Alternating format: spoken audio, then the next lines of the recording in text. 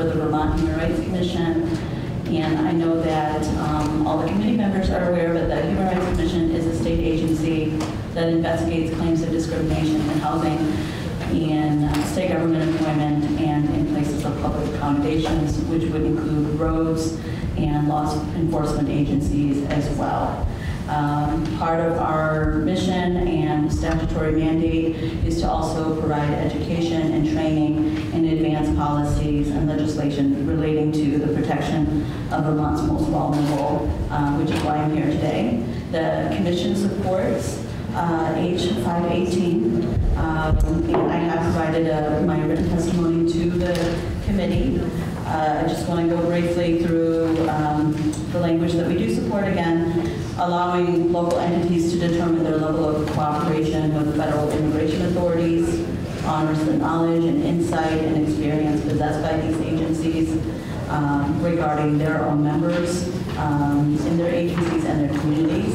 Um, And we know from 30 years of implicit bias studies and that um, people have implicit biases about immigrants and what they look like, the same way that people have bias about what a U.S. citizen or an American looks like.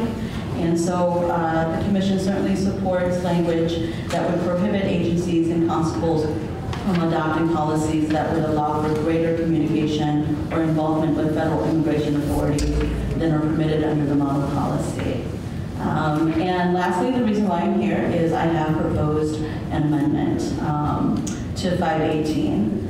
Um, Part of the biggest criticisms that I've heard from various community members is that the current fair and impartial policy is uh, ineffective because there really is no teeth, uh, for lack of a better word, no meaningful consequence when an agency, when an agency fails to effectively adopt the model policy.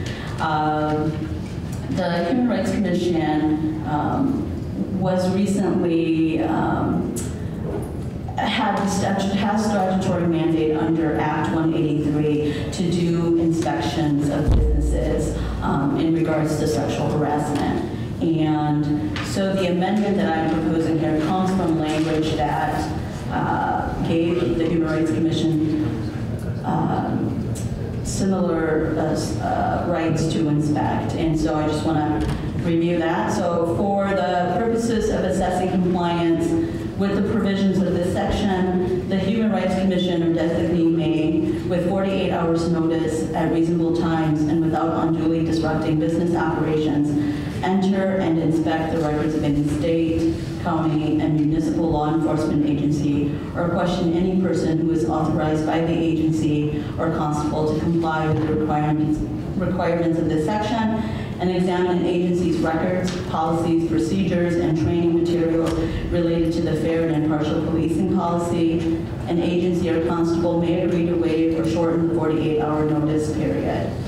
Following an inspection and examination pursuant to this section, the Human Rights Commission shall notify the state, county, and municipal law enforcement agency or constable of the results of the inspection and examination, including any issues or deficiencies identified, provide resources, and identify any technical assistance that the Attorney General of the Human Rights Commission may be able to provide to assist the state, county, and municipal law enforcement agency or constable address any identified issues or deficiencies. Let me just say for the record as well that although Act 183 gave the Human Rights Commission this uh, ability to inspect businesses um, if we suspected that there would be any, um, in fact, actually the statutory language doesn't require that we actually suspect that anybody has violated a sexual harassment policy, but it is a way for us to be notified of um, sexual harassment issues. It's also a way for us to ensure that uh, people are adopting effective sexual harassment policies. And even though that has passed, the Human Rights Commission hasn't done those inspections. And the reason we really haven't done those inspections is lack of resources and lack of time. Our goal and our hope is that we would only use that statutory right when there's indication that a business or um, um, an agency is, uh, does not have effective policies, or we know through investigations or lawsuits that uh, uh, they don't have effective sexual harassment policies. So through, because of lack of resources, this isn't something that we would engage in on a routinely basis. My feeling about adding this language to 518 is that we would be using it in the same manner.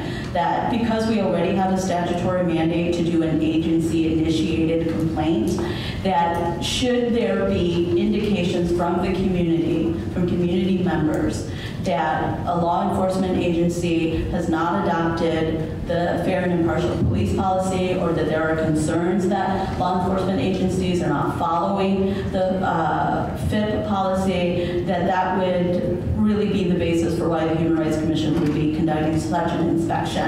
And um, the goal here is to review those policies and to review um, uh, some of those concerns. I have a couple of questions. Sure. and Then uh, the committee does. But in your package, we have a letter from the ACLU expressing support for this amendment. Did you, was this amendment discussed in the House? Uh, So this, um, I testified in the House on, uh, over the phone, and, um, and I did suggest to them that we would be open to um, doing inspections, and I said that it would be language that would be similar, but I did not have a chance to provide what that language would look like. So that was oral testimony in the House, but yes. There was some confusion that, I spoke with Representative Brad, and I was confused then. Um, I'm also a little bit confused about the current authority to investigate. For example, the Bennington Police Department, it's no secret, has come under fire on several occasions uh, recently. They are doing their own review, but is there anything that would prevent the Human Rights Commission from looking at the Bennington Police Department? at- Just based upon current statute? So currently, in order for the Human Rights Commission to do an investigation, we typically wait on someone to file a complaint at the Human Rights Commission. Or we could initiate our own investigation by initiating our own complaint. But a complaint can't just be uh, based on mere suspicion that discrimination has occurred. We usually need to um, have sufficient language that supports what we call a prima facie case of discrimination. And that's really difficult to do. So, uh, because we don't have that information without having done the investigation. So oftentimes, we don't do an agency-initiated complaint because we don't lack the information to even start the investigation.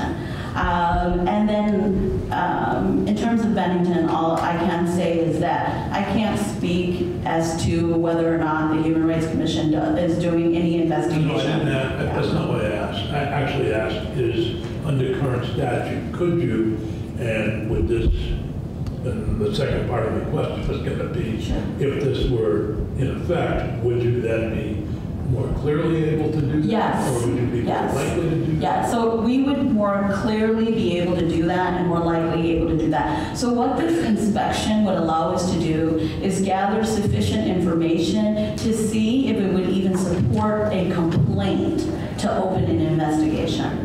We do not just start an investigation without there being a complaint that contains language that suggests there could be discrimination. So, for example, uh, just because we hear about something happening in the news doesn't mean that the Human Rights Commission would then um, use its statutory authority to investigate because we don't have sufficient information. The ability to do an inspection would give us the information that we need to start such a complaint and start an investigation. Th- But this would be purely based on the model policy, am I correct? Right, yeah.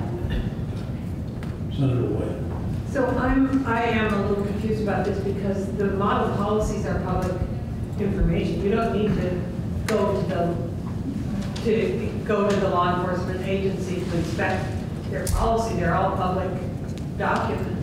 And so you could, you could get a public document at any time, or, so why, why do, you- and then, so it looks like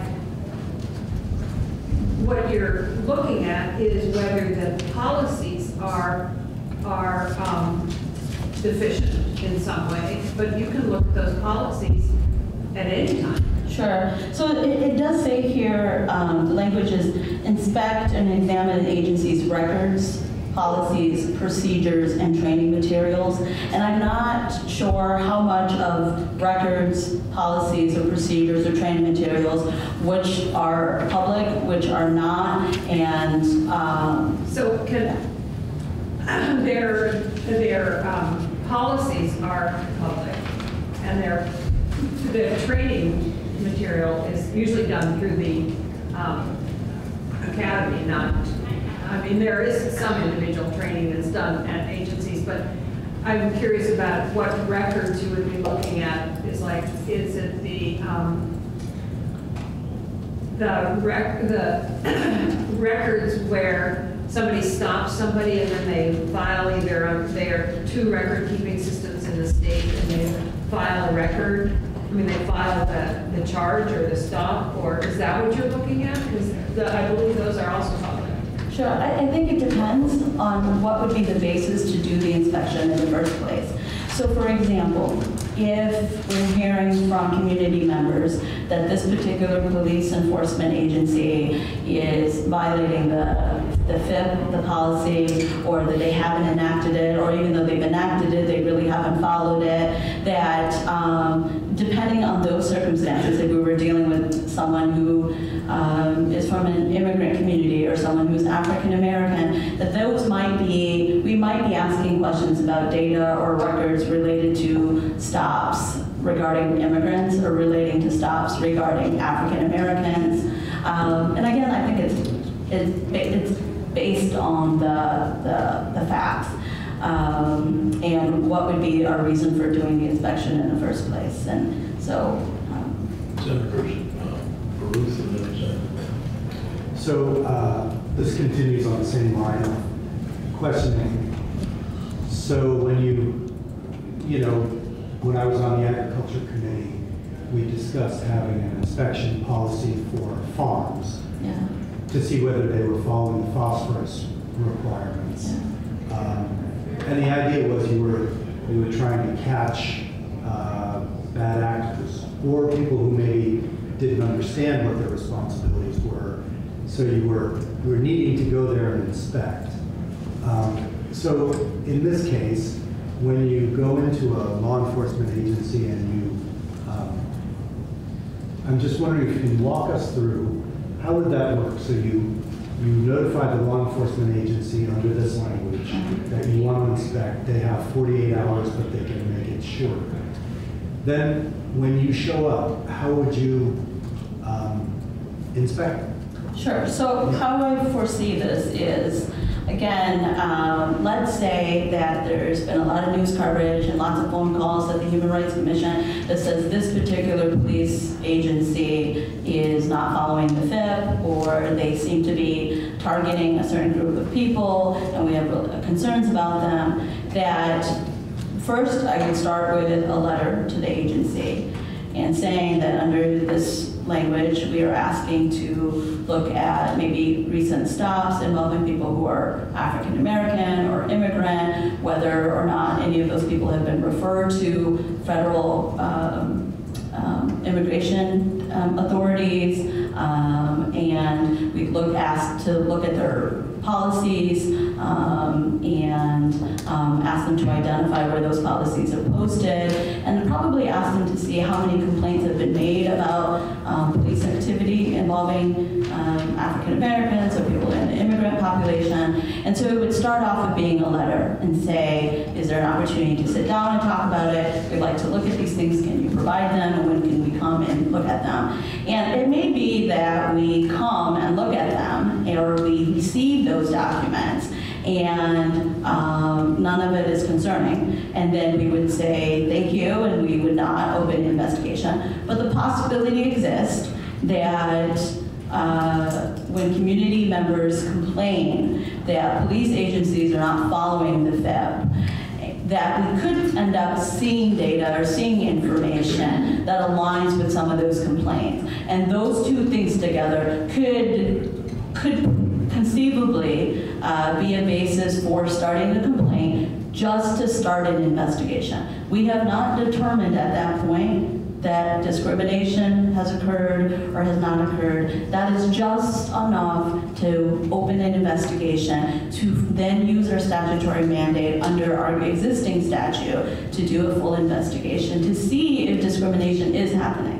Okay, and um, so to take it one step further, so non-concerning information, go no further, concerning information, you would, you would go based on that. But what if, what I think is more likely, that you would have agencies that say, we don't, we don't have any of this information, uh, we don't have in this category anything that you have said you're looking for, would you or could you, under this language, make the decision to go in on the possibility that they may not be offering all? Is, is that part of this possibly too, that you could go in and say, our inspection involves going into the computer system to look at what you have or don't have? So here's my, here's my thought, is if we ask for, if we have statutory uh, language that allows the Human Rights Commission to do these inspections, I do trust that the law enforcement agencies would comply with the inspection. But if it turns out that they are not collecting that data, they don't have that information or those records, I wouldn't start a complaint just to further investigate. But what that does do is it informs me, as the executive director of the Human Rights Commission, that we're not collecting the information that we need, and that these inspections have revealed that. And I would probably be back here next year saying, perhaps we need to be asking for more data collection or more information to inform us about what is happening in the communities and the relationship between community members and law enforcement agencies. So And so- can't you ask for that now? In other words, I, you can send them a letter now asking for these things. There's no requirement that they comply with that at this point. Because, right, so the only, the, the only way that uh, the Human Rights Commission can seek this information now, under our existing statute, is to start the complaint first, and then to do the investigation. What I'm saying is, we don't have enough information to s- initiate our own agency complaint at this point. We're waiting on people to file a complaint at the HRC. But I, I- and I take that point, and I think it's a good one. I, I would be more comfortable with a piece of statute or amendment that said, these pieces of data must be provided. What, what you described was more like the ability to go in and search, and it's open-ended. You could search records, is the word used. Yeah. To my mind, that means anything within a law enforcement agency, from the computers to the paper files to the audio files, that's about as open-ended as a, as an investigative power goes. Sure. I, I, I, I- and I understand that, and I would say that last year when Act 183 passed, the legislature believed that sexual harassment was such an important issue that it was important to give the Human Rights um, Commission that kind of statutory authority to do that level of inspection. And I would say that fair and impartial policing is of the same level, if not more, important. So let me begin by just reiterating that I'm past chair of the Human Rights Commission, and I spent almost 36 years now, is the end of this month, as a criminal defense attorney. I am not oriented towards police conduct. I actually oppose it on a regular basis. In reading your language and hearing your testimony, I hear a big difference. Your testimony is such that you're looking for a pattern of conduct. Now, This language is very specific and grants you an absolute right to go into a police department upon any reason whatsoever without a complainant and investigate files. Now, when I get a police affidavit, I know it is also accompanied by a narrative. There's an investigation that has happened. There may or may not yet be a judge that has found probable cause in a criminal case, which means that there's an ongoing investigation. That's not technically public information at that point in time. Mm-hmm. And I'm reading this that actually gives you the right to go in and seek any agency's records just for the purpose of assessing compliance, which would technically interfere with the police investigation. Not necessarily their business operations, as you accepted here, but with the actual investigation itself. Um, There's no court order that would be needed. You are not in need of any kind of a complaining witness that would generate the reason for investigating this particular uh, agency. And I have to frankly say, I'm uncomfortable, even as a criminal defense attorney, thinking that you would have that power by state authority. Um, And I'm a little nervous, frankly, about what you're asking for. I just, I don't really have a response to that. I'm having a hard time knowing the overall intent is to have a pattern of conduct established that leads you to the conclusion that there is in fact a violation of that. That's not what this is saying. This is something a heck of a lot different in my eyes. Do you have a different opinion on Uh, Well, first, I would just like to say that I absolutely respect what you have to say, and I also understand that, um, that there, I I hear your concerns. Um, And I'm really here representing the other concerns, which is uh, people that in the community who are feeling as if the current policy is ineffective or insufficient to address what we're seeing happening across the state. But um, I don't, I I hear you, and I respect that, and I I don't, it- it's possible that we could uh, amend this language or change it to address some of those concerns. I can't say that I'm prepared at this moment to, to, to do that.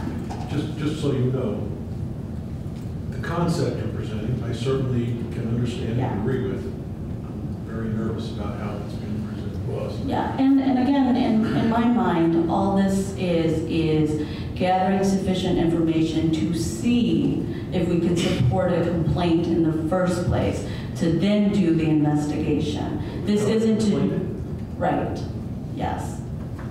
Could, could I follow up on Yep. that? So if, Senator oh, I'm sorry. No, I'm just, I'm chewing. you can come back after you do. Okay. So, I, I'm even more confused now. So, if there's a complaint, you could do this right now, right? Yes, Okay. But is what you said is that there are complaints coming from communities. And so then you would want to go look at that, that agency. But if there's a complaint, you already have the ability to do it. You don't need to have this open, and, and I, I do have some concerns about the, um, looking at any of the records, because that's, that could, as Joe said, impact an ongoing investigation. And I'm just wondering if what you're looking at here is the deficiencies in the policy and whether they're actually carrying out the policy, or looking at the actions of individual officers and um, investigating individual officers. Because if that's the case, that there's already a process for doing that, and this is um, one of the reasons that they can be um, decertified. sure. Well, let me first suggest, uh, uh, uh, explain the first part of that, which is Yeah. the complaint process. Yeah. So when I say someone files a complaint, that is an individual calls our office and says, I have been discriminated against by so-and-so, this Right. law enforcement, or I was stopped unlawfully, or I've been targeted unlawfully. That's an individual. What we, that sometimes happens. But what we do sometimes also hear during our outreach, our training, um, is that you have a group of people who say, there's a problem with this law enforcement entity, but they are unwilling to come forward, they're afraid of retaliation, or it is their friends or their family members. So they are th- themselves not the people filing the complaint. But we'll hear that from several different community members. And that's an example in which, oh, okay, maybe this is something that the Human Rights Commission is, uh, could look into. So, uh, you know, I mean, a lot of the public response to what was happening in Bennington was, why isn't the Human Rights Commission looking into this? Isn't that why we have a Human Rights Commission? Well, we can't look into it because we don't have enough information to even start the investigation. And unless somebody files a complaint to the Human Rights Commission, that can't happen. It can't be a complaint from a community. It has to be an individual that's Yes. been. Yes, or we initiate our own agency complaint. And we would have done that if we had sufficient information. But we can't do the investigation until we have the information to support the complaint. It's, it's, it's, uh, it- again, if there was another agency that is better equipped or that we are supporting to do that work, I mean, the Human Rights Commission is, is happy to do that, but I would just refer you to all the public statements that have been made, that it is the job of the Human Rights Commission to handle what was happening in Bennington. Well, uh, and it's not just Bennington folks. Right, yes. That just happens to be the example that was brought I up. I brought that up, Yes, but also, exactly. uh, there was a Supreme Court case that highlighted an issue with Bennington, so I Yeah. that was a different way to get at it, but the Supreme Court made a ruling. Mike, I'm going to put my appropriations committee hat on. You said you have a problem with resources now to do the jobs that you've got. Um, You do. And we have $253 million in requests over the governor's budget level. Um, And we have also unfunded promises about water quality, an unfunded promise about weatherization, we have an unfunded, well, and the finance committee wants to do about $4 billion in tax credits, which reduce revenue. So in all of that, how do, is this any more than just a window dressing that you can, but we don't, we don't provide you with the resources to actually do it? Yeah, I mean, I think that's a very fair um, statement to make. And um, I have been very honest in that we haven't done any inspections related to Act 183 because of lack of resources. So I don't see this as this ability to go into any law enforcement agency and just ask for a bunch of records because I don't have the time to do that. I actually am dealing with people who have filed complaints and those investigations and, more. Um, so my thought is that should another situation arise like we saw in Bennington, that that would probably be a situation in which we could utilize this language to say, what is happening down there? Please give us some information in regards to the FIP. Or did you adopt it? What does that look like? You know, what are the records like in terms of police stops? And does this support an agency-initiated complaint to start an investigation? But, um, yeah, I mean, gonna, I'm being very honest that this isn't something that we're going to be doing just because we have the right to do it now. And in defense of Bennington, I must say that uh, the University of Vermont did a study on traffic data and concluded that it was biased based upon the data. Then the Center for Justice Research Yes. at Norwich Yes. did their own study and said the University of Vermont study was flawed and it's inaccurate. And then the UVM people said, with all due respect to UVM, said, no, the Center for Justice Research is flawed. Nobody actually, so in all of that, Yes, I know. the people of Bennington are somewhat confused, but uh, I will say this for publicly, that they are doing a review um, of their police policies uh, initiated by the community and town um, select board, so that is ongoing. But I will say that sometimes the information that people get is not as accurate as one would think. And I know UVM is still running their study, but I have gone over both studies and have read the Center for Justice Research, if I've got the right name. Um, Pardon? Crime Research Group. Crime Research Group, thank you, Chloe. Uh, The crime, that was the Center for Justice Research, now it's the Crime Research Group. Anyway, their study indicated that the, that their, their methods were flawed, would like to do a study. There is one other group that I am concerned with, that nobody has talked about, and that's young people being profiled, whether they're people of color, whether they're um, whatever, but particularly uh, those under 22, let's say, who are being profiled, and that's one of the concerns that's been expressed. Um, And is that a group that also can be looked at? Um, I mean, potentially. And bias-free policing? Sure, potentially, yeah. I just wanted to ask, I, I jogged the question when you were talking about the Bennington situation. So I, I remember what you're talking about, people saying the Human Rights Right. Commission should jump in. Did you contact the Bennington Police Department about FIP and their, um, No, I did not. and my question would be why? Because you don't need this legislation to send them a letter asking for their policy and how they operate.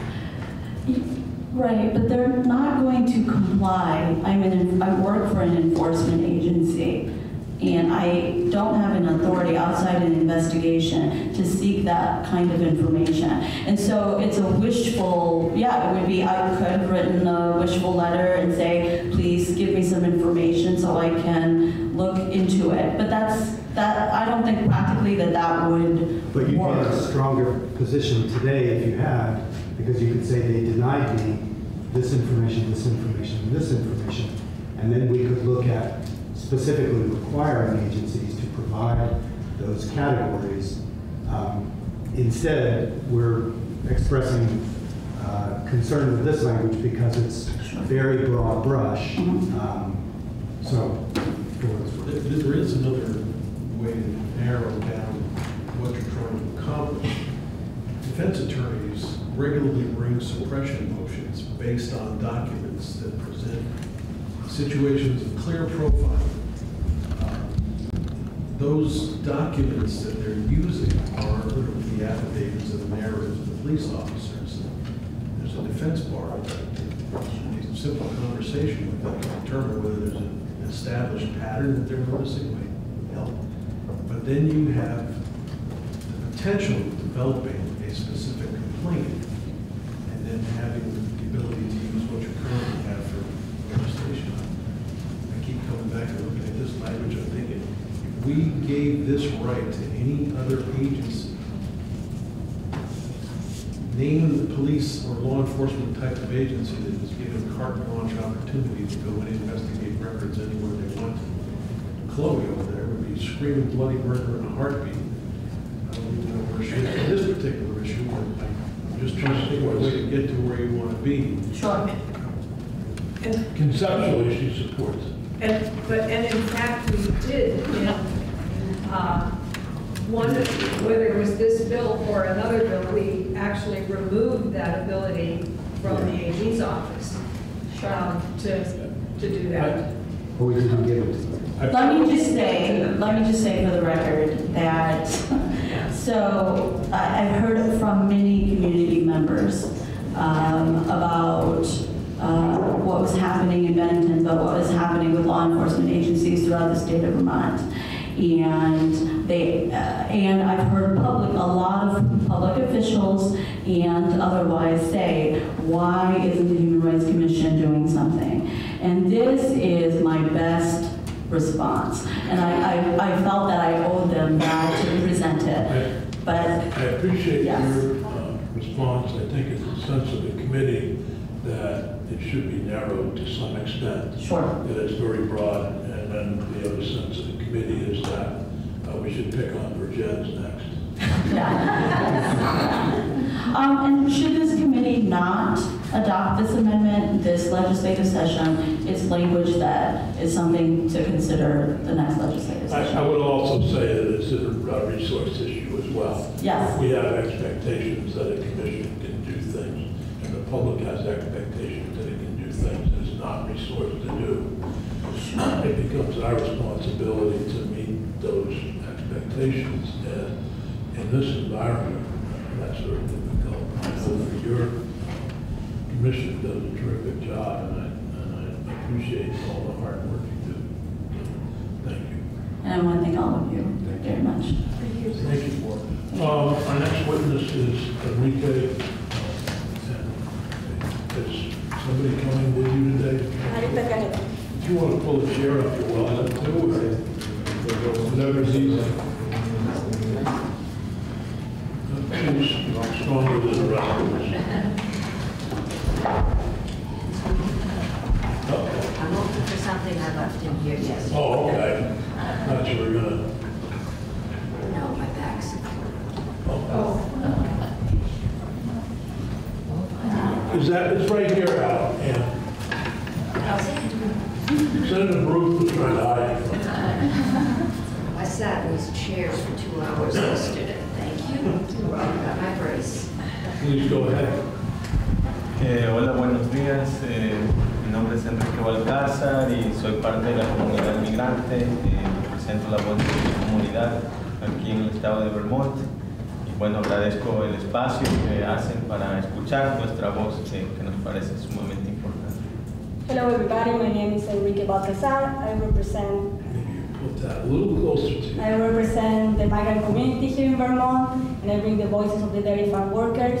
Thank you very much for the space and the time. Uh, we're here to talk to you about this. Eh, estoy aquí eh, apoyando el Bill 518 eh, y también la enmienda presentada por eh, la Comisión de Derechos Humanos. Y también, bueno, hemos visto el testimonio de Mark y que nos eh, que recomienda algunos cambios adicionales en la política y también nos parecen bien, eh, pero vamos a enfocar hoy en la recomendación de la, de la Comisión de Derechos Humanos. So I'm here supporting Bill 518 and the amendment presented by the HRC. We also have seen the testimony of Mark Hughes, maybe you got it. Um, he recommends some changes, uh, additional changes, and we believe these are good, but now we're gonna focus more on our testimony about the amendment with the HRC. Bueno, eh, como la comunidad migrante en Vermont eh, y, en todo el país, ¿verdad? La comunidad migrante siempre hemos sufrido eh, la presión política de inmigración, ¿verdad? Hemos estado trabajando por, aquí en Vermont, hemos estado trabajando por muchos años en, en la política No Más Polimigra para realmente parar la colaboración entre los policías e inmigración. Eh, pero esta ha sido debilitada bajo el gobierno de, Donald Trump y, y la policía por querer seguir manteniendo la, la comunicación con las agencias de inmigración. So here, the migrant community in Vermont and the whole country, we've been suffering about the political pressure of immigration policies. And we've been working really hard for years in this FIP policy. Uh, but this has been uh, weakened, uh, it's, been, it's, it's weak now under the new administration of Donald Trump. And, you know, we see that the, the police is defending and wants to maintain this relationship with the immigration agencies. And at the end, um, it's not something that strengthens the trust in the police and the communities, uh, the migrant communities. Y bueno, algo que quería igual ah, decir es que, bueno, nosotros, eh, yo he sido trabajador lechero aquí y en Vermont tenemos una comunidad eh, lechera, ¿verdad?, este, de trabajadores migrantes que ayudan, que ayudamos a sostener esta industria y que hemos estado trabajando fuertemente eh, para mejorar esta política y, y ya no ser discriminados y separados de nuestras familias o de nuestros trabajos. So I want to acknowledge that I'm a migrant worker. I've been working on dairy farms, and I'm, we're a whole community here that are sustaining the dairy industry. we're really important for the state. And we have been working for years here and we want to recognize, be recognized. Eh, y bueno, enfocando un poco más, eh, como dije la semana pasada, es sumamente necesario que, eh, que esto se mejore, ¿verdad? Porque no es suficiente. Eh, mencionamos la política modelo eh, y, por ejemplo, el 25% de las agencias eh, no tienen la política modelo o adecuada, la mínima, ¿verdad? Eh, también algunas políticas han resultado en que no se han actualizado desde el 2011, 2014, 2016 y políticas que ni mencionan nada acerca de inmigración. So I want to rectify the importance of this because we see that the actual structures haven't been enough or sufficient.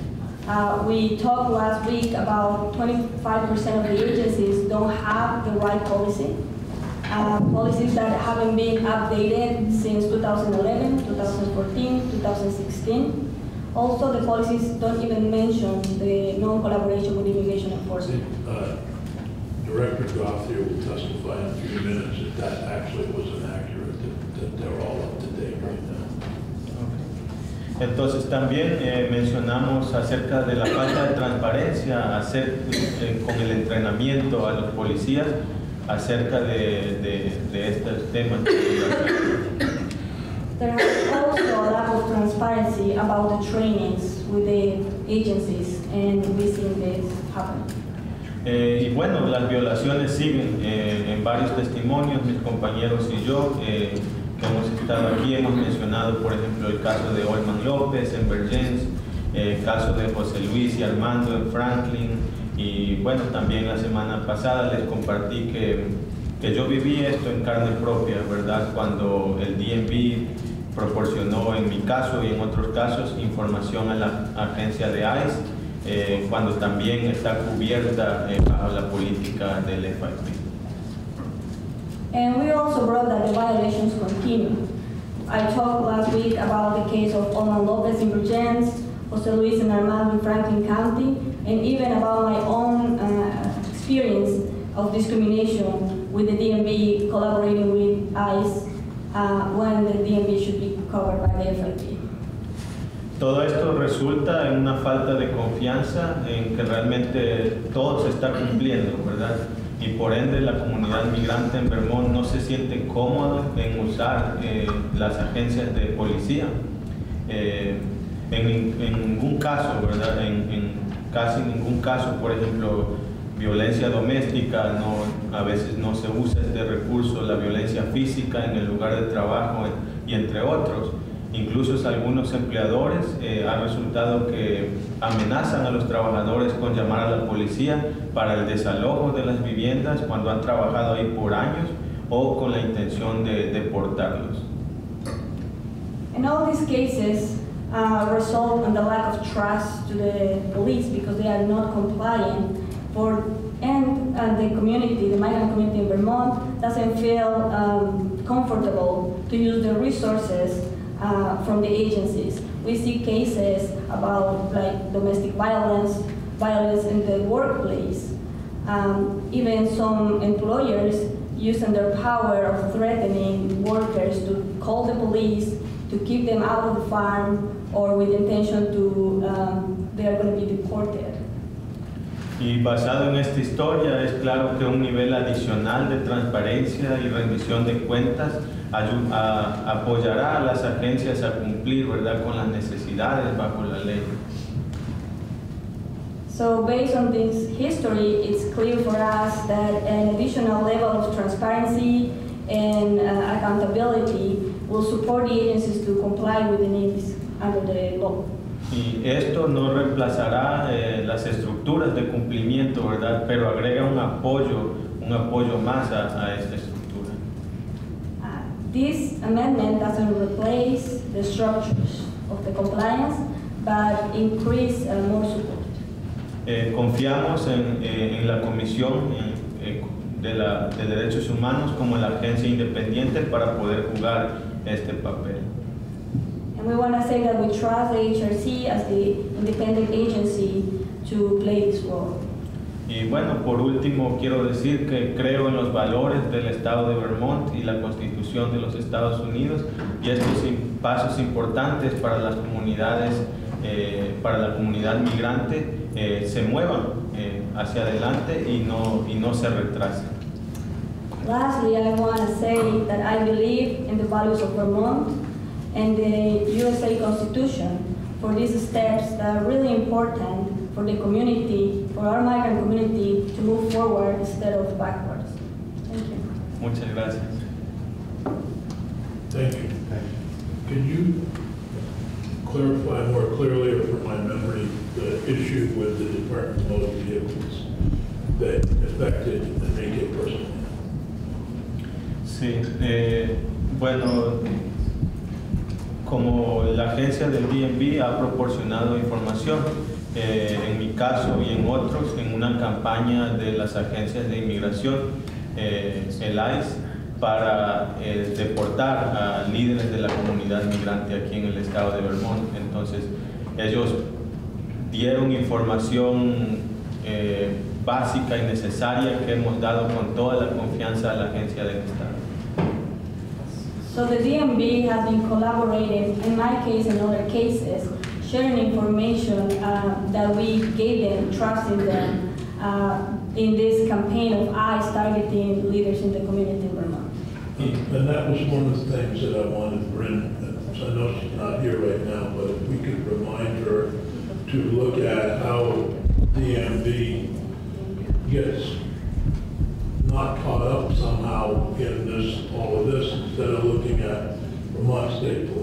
example, who may be doing an exemplary job. DMV at the same time is not caught up in any of this, and yet they're Well, they are under fair and impartial. Well, our, well, they're law enforcement Yeah. but not the DMV Oh, that- that gave out the information. So as we're looking at providing identification for migrants so that they can do their job and- and work, we are allowing DMV to skirt the responsibility to follow the fair and impartial policing policies and other policies. So I, I think they need to be included somehow here. That's what I was trying to get at. I realize the Department of Motor Vehicle Inspector. Yes. Yes. But I, I meant the, the department itself. That if we're moving to having uh, vendors get IDs from the DMV, same would be true. Okay, yes, Senator White. So I take some responsibility for that. A number of years ago, um, I was in the car and I was listening to the issue of migrant workers. And I live in Windham County. We have very good dairy farms. And I said, wouldn't it be a great idea if we could get driver's licenses for them? So I introduced the bill and it kind of backfired, I guess. The, um, so this doesn't really go to the broader issue of the fair and impartial policing policy because there are many people who aren't in the migrant community who are affected by it. But the, I keep thinking that we need to make sure that you get some kind of, of um, work visas to actually, so that you, there isn't this issue. And I know Alyson Eastman, she was in the Department Agency of A, was working on that. That we- have to, we need to do this, but we also need to pursue, continue to pursue that because you shouldn't be living in a shelter. So, I, I just needed to say that, that there, there are other things that we need to do for the migrant community in Vermont outside of the fair and impartial policing policy. If, if I may, you're completely right, and I think one thing that we make important right now is that a lot of people don't leave the farms or don't have Right. access to different things, and as uh, Enrique explained, I coordinate a helpline at Migrant Justice, and I receive phone calls, and we've been working a lot with um, service providers for uh, any kind of trauma, sexual violence, violence on the workplace. People are really afraid to call the police because they hear that even if my partner is an abuser and, and I reach out to the police, then he's gonna end up deported because there's gonna be this collaboration. And with the driver's license, we do a lot of education about how to take care of the driver's licenses and how um, that helps really the community to be not only out of the shadows, but to be integrated. Um, because we don't have family here, so we need our community to, to feel as a family. So I think it's really important to understand that without the HRC, and you say they can get public records, there's information that they can get, but nobody's doing this. And when we get the information from the agencies that are not complying with the FIP, it's us, the ones that are being um, uh, affected by this, that we have to go and seek for these things and come over and over again to you every time saying like, this is not compliant, this is not compliant. We see it not only with uh, our own experiences, but because we have to go and search for it. So that's why we are supporting this amendment, because we need an agency that's really gonna do the job. Um, I would not say the law that way. That there was a misuse of the information. Misuse of the information, yeah, It yeah. yeah. No, no, would share I- with the uh, immigration. Are there other questions? Thank you very much for coming back. We'll continue to look at this. Thank you. Muchas gracias. Thank you. But we need to, we need to keep up the fight to get um, visas I know, it's- instead of, So unfortunately, our federal partners have gone off. we have, we have visas for people who come and work in ski resorts, Well, the internationals. But they're also, if you look at, this problem is not just in Vermont. No, no, I know it If you isn't. look at Cape Cod, it's a real difficulty in trying to provide workers for their summer um, tourist season. Right, but But it's not just Vermont, this is a national issue that needs to be addressed by Congress. yeah. Anyway, that's my personal opinion. Is Richard Gauthier, the Executive Director of Vermont Criminal Justice Training Council.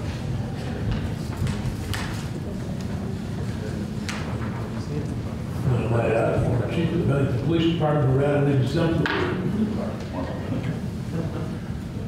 Good morning, committee. For the record, Richard I Goff- chair as select the. Yes. Uh, Executive Director of the Criminal Justice Training Council. Uh, As I mentioned last week, we supported uh, the bills that passed through the House. We didn't have, the council has no concerns with that. Um, We do have some concerns with the HRC amendment, particularly Speak closer to the mic. particularly if it's based on an assertion that uh, the current enforcement mechanisms are either non-existent or ineffective. I heard about some agencies being out of compliance in early February, I think, in this room, when a representative from Migrant Justice said they found a number of them. I never, ever received a call from Migrant Justice, never received any information about who these agencies were, what was the level of noncompliance. I only saw specifics last Thursday when the 13 policies were presented to your committee. So I returned to my office and on Friday morning contacted the committee assistant, got copies of all the policies and made that my Friday project to reach out to all the agencies. By midday Friday, everybody had, uh, who was, who hadn't adopted the current policy, had adopted the policy. Well, let me break that down for you. Of the 13, three were already compliant. They weren't non-compliant. Uh, Two of the three became compliant after Migrant Justice first got their policy book before I called them. The third one has been compliant since March of 2018, has no idea why they were singled out as being non-compliant, and uh, doesn't know where Migrant Justice got whatever version of the previous policy that they used. So those three were already compliant, had copies of our policy. The, there were several others who were working under what was believed to be the compliant policy that state police had at the time. In early 2019, the VSP, working closely with the AG's office, revised our policy and brought it into compliance with legislation. That information hadn't made it to the agencies that were using the VSP policy. When I spoke with those agencies, um, they immediately adopted the council policy. There were a couple of agencies that were using the 2016 essential codes uh, version, thinking it was compliant, uh, thinking it was compliant, immediately adopted the council policy. One agency um, did exactly what Senator White pointed out last week, did not include the entire policy because they had bits and pieces of, of the council policy covered in other sections. And in an effort to keep things simple, they would simply, knowing it was covered elsewhere, they simply excised it from the current policy. So we had a conversation about cross-referencing and there were, there was a section in there that they didn't include because they didn't think it applied to them, so we had a conversation about that. That agency has since um, revised their policy and has submitted it to the Attorney General's office for final review. My first reading of it before it went to the AG's office was that I think the AG will find it in compliance. And as I sit here this morning, it is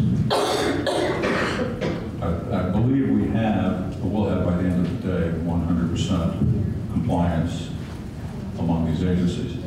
Now, it's important to note a couple things.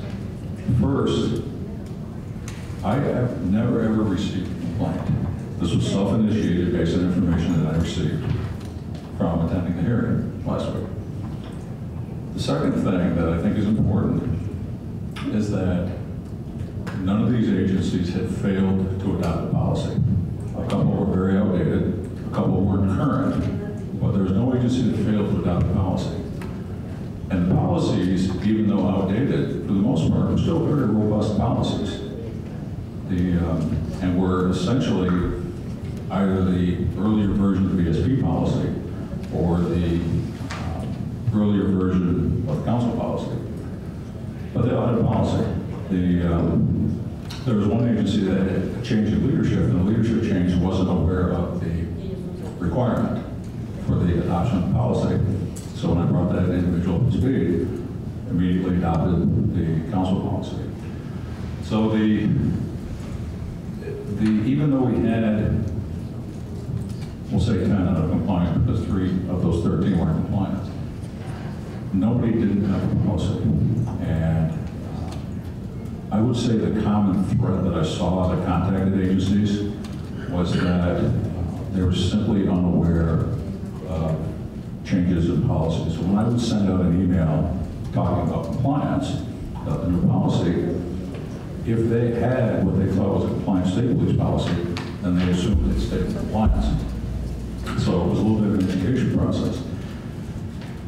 So that, that piece of it is pretty effective. Agencies are very responsive. Um, Let's talk about the enforcement mechanism a little bit. Most of you on the committee remember all the um, discussions and back and forth about professional regulation and law enforcement conduct that resulted in Act 56 of 2017, went into effect on July 1 last year. Act 56 dramatically expanded the uh, categories of misconduct that law enforcement officers could engage in and separated criminal conduct, gross professional misconduct, and offenses against council processes. Failure to abide by a state requirement was specifically added in that language to capture just such uh, events as this. Um, It was not intended to be used if an agency was simply mistaken. That's an education process. If an agency had refused to adopt one of these policies, my response to them would have been dramatically different than, than what it actually was. There's also mechanisms built into Act 56 that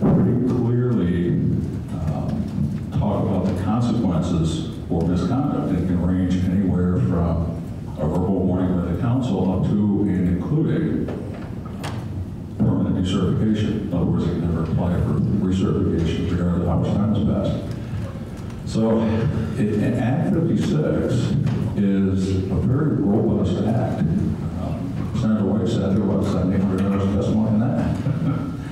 Uh, it- It's a very robust act. We, um, agencies are mandated to report acts of misconduct to us. And they are required by law to conduct internal investigations if they receive complaints. So if an agency had received a complaint of misconduct, reference one of their officers, that agency head is required by law to conduct the investigation.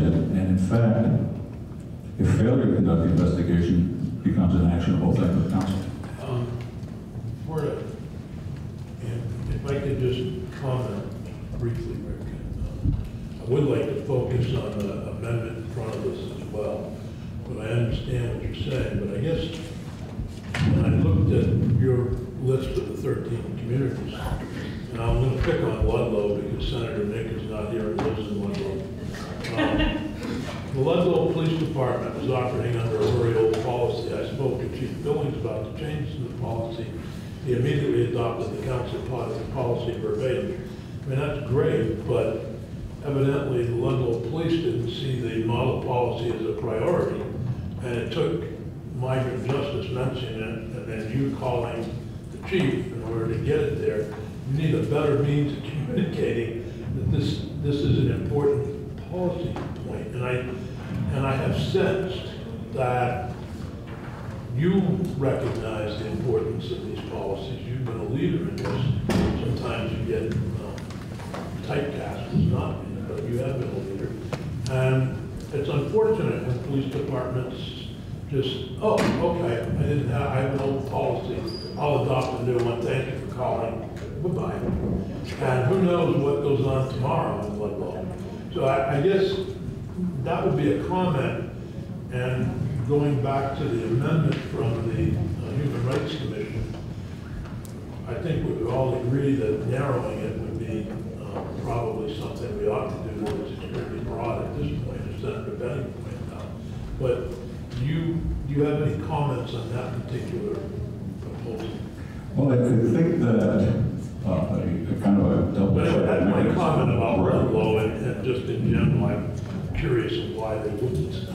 Think- Well, it, it was impossible for me to determine whether it was a fact that the chief didn't get the information.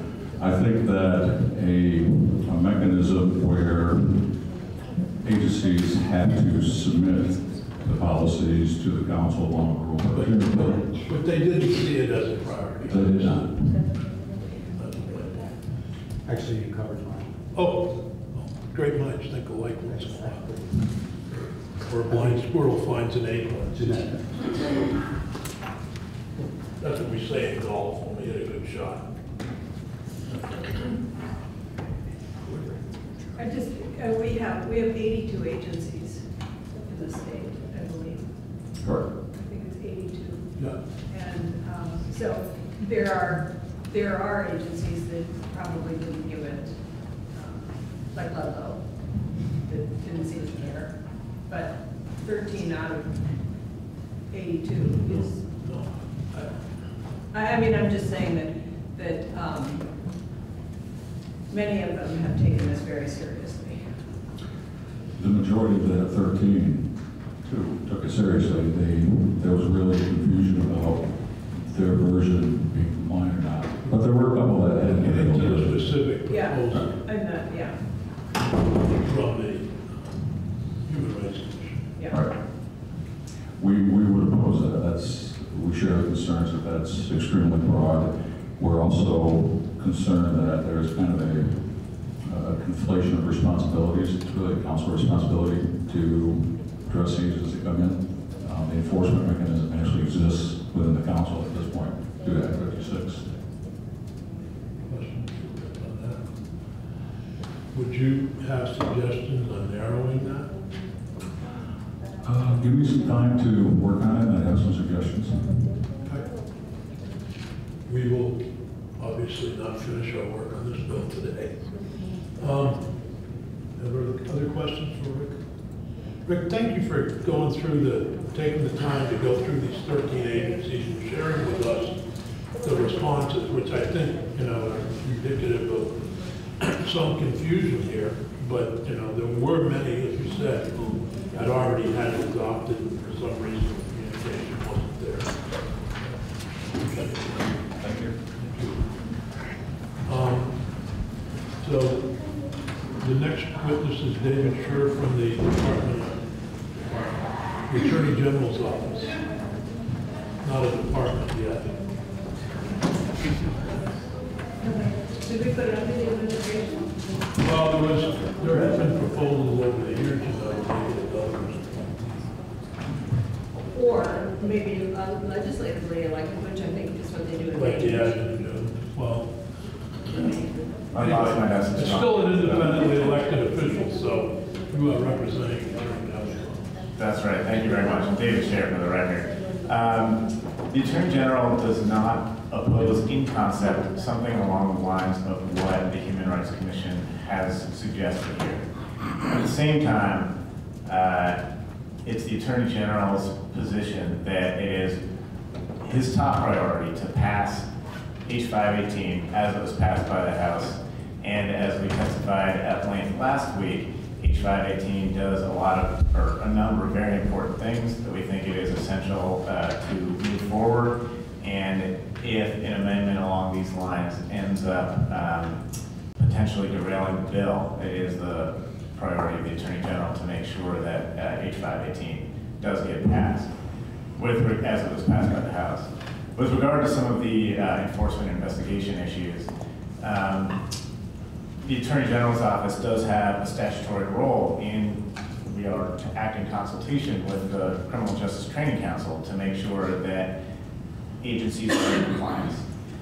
That is an obligation that we take very seriously. We take it seriously because it is the law and we're obligated to follow the law. But just as importantly, we take it seriously because of the incredibly important policy concerns that underlie the fair and impartial policing policy and the immigration uh, aspects of that policy. Fair and impartial policing is incredibly important for the credibility uh, and trust of community members in Vermont, and the immigration piece uh, is essential to ensuring that everybody who is in Vermont trusts uh, the Vermont, Vermont police And and exactly, and one of the reasons that I appreciate our Attorney General being an independently elected official, it- that the Attorney General is not beholden to the executive branch. And I'm curious as to whether or not the Attorney General could have held the Department of Motor Vehicles liable for releasing the information on Enrique and other uh, people with similar status to us.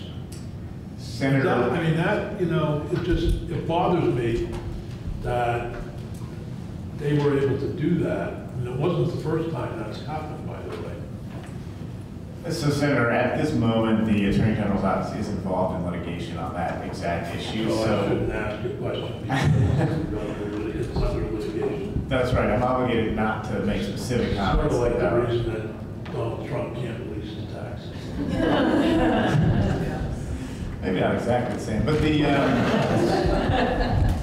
I, I will say the Attorney General, speaking generally. I think, no, I- I'm really zeroing in here on that, because we can do all we want, fair and impartial policing, get all the cooperation we want from law enforcement, then there's this mistrust that legitimately comes from the government putting together a licensing proposal to allow people to lead as normal life as possible as workers and members of the Vermont community, and then having that information turned over to the immigration services.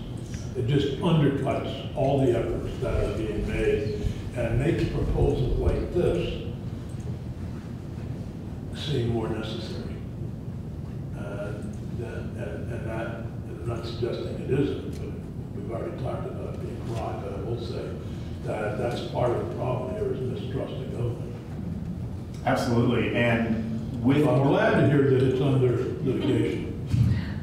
Um, and the trust issue is the key issue here, and with uh, an HRC role or without an HRC role, uh, I do want to assure the committee and assure- ensure everybody that the Attorney General takes very seriously ensuring that these policies are being implemented. Uh, Assuming something like this passes, we will have a new July 1 deadline to ensure compliance. To the extent that we don't already have direct outreach with agencies, I have no doubt that Executive Director Gauthier uh, and myself will be working to be absolutely sure that we have compliance on the part of each agency. I think the training issue that was brought up is also really important, uh, and Director Gauthier has been working hard to implement training both on the sort of unbiased policing aspect as well as on the immigration policy aspect. And our office has been, is, will be working with state police to uh, do uh, additional trainings beyond what is statutorily required uh, with regard to hate incidents, fair and impartial policing, um, and immigration policy issues, which have not been, are not up and running yet, but uh, will be held at barracks around the state in order to make it easy for local agencies to attend. Uh, And the director of our Civil Rights Division, Julio Thompson, will be assisting with those trainings. So all those pieces are incredibly important. It's stuff that we're working hard to advance, and I just want to assure the committee of our commitment to those issues, uh, in addition to other efforts that may come into play here. So I, I don't know that the AG has any role in this at all, but it seems to, both of my kids who are adults work at um, resort areas, one in Montana and one here. And they have what they call the internationals that come every year to work in the ski industry. And for the most part, I mean, they're, they're here legally, so they don't have an issue around immigration they- policy. They may have an issue around fair and impartial policing, but they don't have, so is there, does the AG have any role in trying to figure out a way of, I think that the latest figure, we have something like seventeen hundred um, undocumented migrant workers in our, um, they're mostly dairy industry. Why, why is it so impossible to get some kind of work visas? For the, there, are they called H-1-5s or something that people get to come here because they're technology experts or work in the ski industry? Oh, I don't understand why that is so impossible to do. And that was before this current administration, so. Yes, and we agree that that's a serious concern. That is really a federal issue in terms of the visa problem, and it is outside of our purview. Certainly, we agree as a matter of policy that that should be accessible and would help in a myriad of ways. Right. Um, Unfortunately, I- our office doesn't have any direct authority on that issue. It is directly federal. Right, so Al, I think Alyson Eastman, I don't know that she was able to get any place, but I know that she was working through the ag agency to try to, There are, there are businesses, for example, in Bennington, for years, there was a Japanese-American partnership that makes steering columns, most of the steering columns on foreign cars are made in Bennington, Vermont. So when you say I'm buying a foreign car and somebody criticizes, you're actually buying a that are made in Bennington. But that's my little for Bennington. But they allow workers from. Japan to come over for four years. They, you know, are, become residents of the community, they're involved in the community. And they're all legally Right. here. Why, what your question is, why aren't others treated in a similar fashion that are doing work on our dairy farms? Right. Places in our resorts. And that really is the federal, failure of the federal immigration laws. Because they have that set up.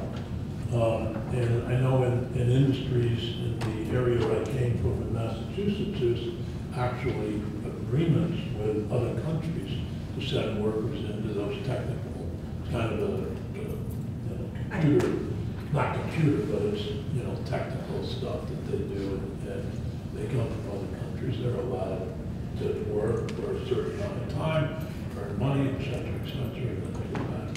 So it's just, it has been somewhat of confusion here that a particular, it seems like particular workers and from particular countries are more discriminated against than others.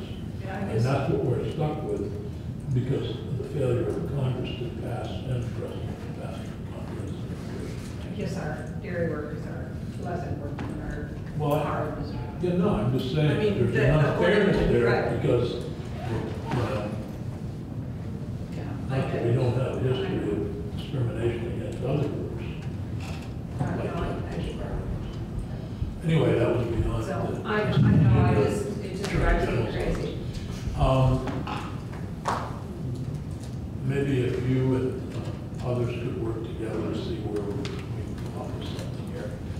Um, to Have some oversight.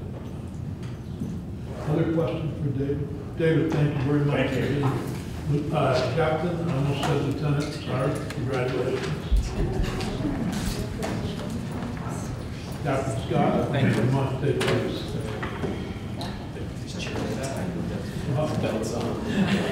Yes. For the record, Captain Gary Scott, the State Police. Uh, As they said last week, uh, overall, the State Police and the Department of Public Safety opposes the bill for, as mentioned last week, uh, the JAG funding is a significant concern. We worked extensively with the AG's office to get our policy to meet the, the language that the Department of Justice would accept to get that funding.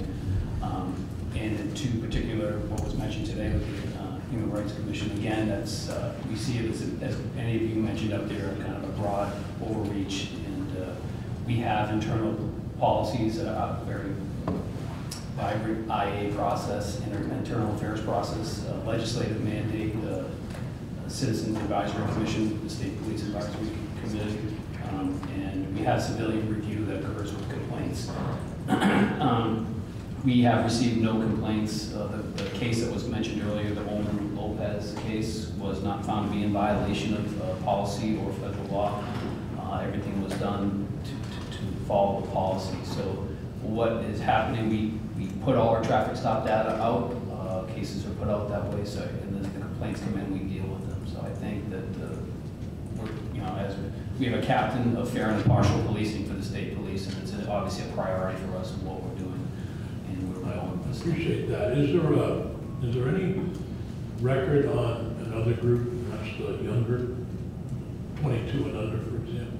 So we can pull that if, uh, I mean, is it asked on the model policy or is it part of it? not age specific. Um, I would like some consideration for that too, because there's another group that is frequently, Yeah, absolutely. And, in the outreach we've done, we've met with the Mexican consulate that came up from Boston, we've met with farmers throughout the state, so we're continuing, we're not hearing the same complaints that are expressed here today. I do think that the model policy, I want to define, it's bias policing is um, if it's motivated by an individual's actual or perceived personal characteristics and personal characteristics But- does but include if- age. But if they don't ask, the information isn't there. You, you mean the, the, the, on the traffic stops? Yeah. Oh, Of what's released, no, we could pull that though, we're Yeah. looking to go further, we have done Yeah. that. We, we will, we'll continue to look at all of that, male, female, license plates, license of driver. One other question then, um, regarding the policy, the, the proposal from the Human Rights Commission. How does law enforcement see that particularly? It would be a concern, I mean, just for the NCIC and who is looking at that, that could be issues when you're talking about open records, and that would be a violation of the NCIC federal standards, so an agency who came in and how to work through those types of things, so there's, there's definitely concerns there for that, and we would have, we would oppose it uh, until, it's too, it's too broad as, as you all Too mentioned. broad at this point.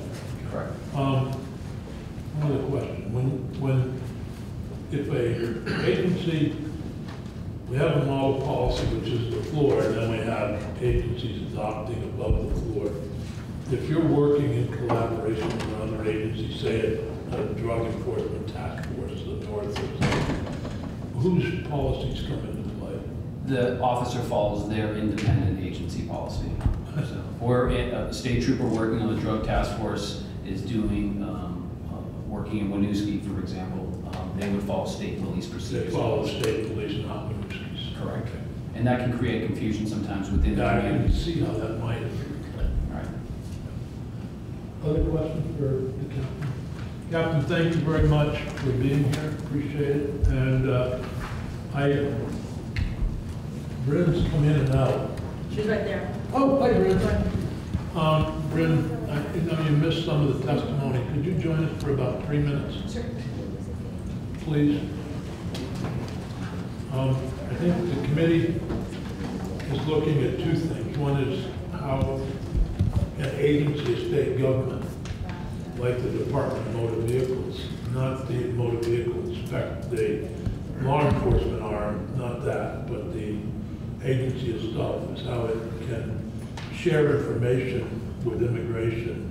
um, And have, it- it- that should have been clear that they, they can't um, or should have, and so we, we might want something in statute about that. And secondly, um, hopefully, after hearing the testimony, we can work with the Human Rights Commission, ACLU, Attorney General's Office, the Training Council, and others on revising the proposal from the Human to make clear not, they wouldn't have access necessarily. One of the points that Senator Benning made, was clear, make it clear that they would not have access to information as part of an investigation that is not allowed anyway to the public. But, uh, If they have some following complaints. Um, So anyway, I hope, that of, Well, yeah, but that's the very information that they would need to have